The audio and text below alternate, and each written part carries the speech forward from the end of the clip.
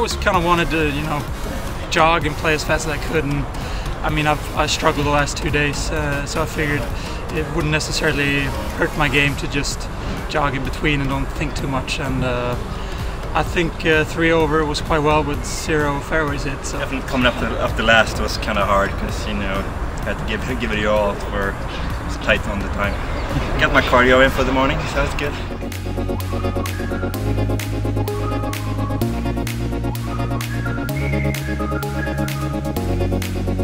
Thank you.